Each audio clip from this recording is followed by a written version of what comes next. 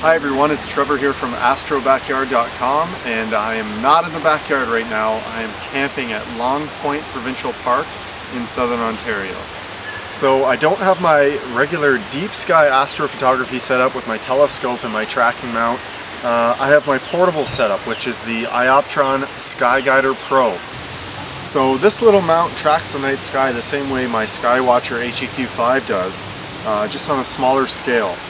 So what I'll be mounting to this is a DSLR camera and a wide angle camera lens.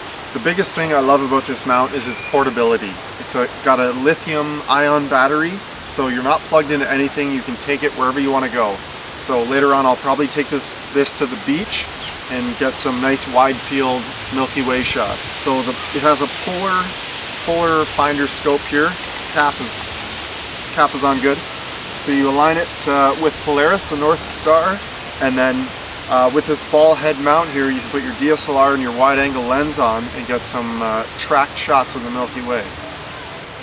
One of my favorite features of the Ioptron Skyguider Pro is the different tracking speeds that you can set. So if you leave it at the default regular one-time sidereal rate, that's enough to do long exposure photographs of the Milky Way and have sharp stars. But you can set it to a half speed rate if you're doing some nightscape shots where you want the landscape to not be all blurry, but you want to have those benefits of the, tracking the night sky as well. It's very simple to get this mount ready to go. Basically, you just need to get it polar aligned. So this is the polar finder scope that works just like uh, my Skywatcher HEQ5 at home, just on a smaller scale.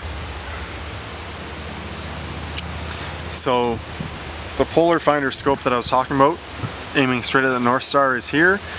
Put the cap back on when you're done and attach this nice little adapter here and then I've got my ball head uh, for my DSLR camera. So take the shoe off here, I'll put my camera on here and then I can aim this absolutely wherever I want even you know backwards which is exactly where I'm going to be aiming it south to get the Milky Way. It's very easy to make a, a latitude adjustment here. Uh, you just pull this lever out and unlock it and then by twisting this bolt here you can see it going up and down and you get it to your correct latitude uh, for wherever you are happen to be on Earth in the northern hemisphere uh, in my case and then once you've got that spot viewing it through the polar scope here you simply lock it down and you're good for the night.